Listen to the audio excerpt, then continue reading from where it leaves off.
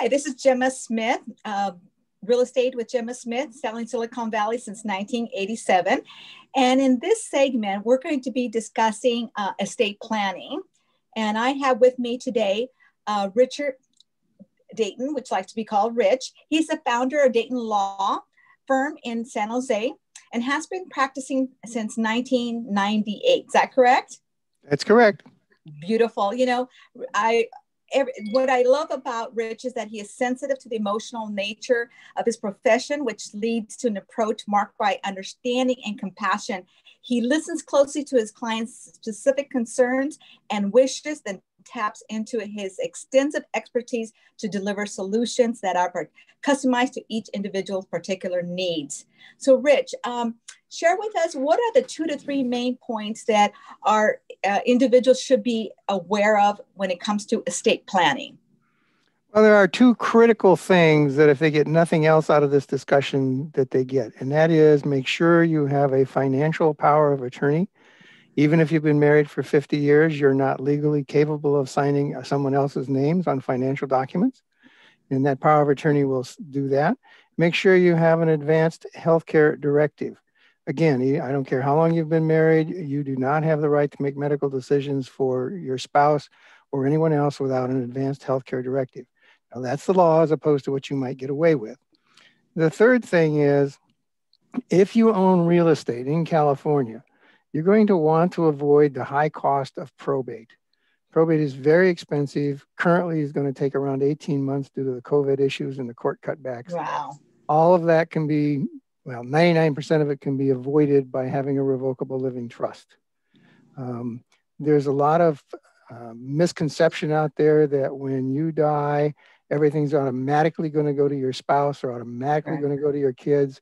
And to some extent, that's true but uh, it's going to go through the high cost and delays of probate and is not necessarily all going to go to your spouse. Um, and so it's really critical to talk to someone to find that out, what exactly it is. Uh, but power of attorney, healthcare directive are critical for everyone, even if you're over 18, uh, to avoid a very expensive and time consuming conservatorship. Then um, if you don't own real estate, a simple will will suffice uh, because if, there's other ways of avoiding probate uh, if you don't own real estate. But if you own real estate, you're going to want that trust. Uh, there are some other options. They're not so good, but there are some other options. Um, okay, and the, the cost of probate, and the reason you want to avoid it is a million dollar home with a $900,000 mortgage on it is still a million dollar probate that's upwards to $48,000 worth of cost to transfer it to the people you want it to go to. Wow. Of which 99% of that can be avoided. Um, so those are the three key things that I would think everybody wants uh, to get out of this. Now, what style you need, what other options you want, uh, all come into why we spend two hours on an initial meeting figuring out what it is you want to accomplish. Exactly, exactly. Well, you know, in this short segment in talking about estate and planning, uh, you informed us with three valuable tools that need to be um, acted upon by every individual. And we welcome um, our community to reach out to you. Um, we'll definitely will provide uh, your information, name, uh, phone number, and email for those who have joined us today to listen to your words and you know want more specific information regarding their needs and their concerns.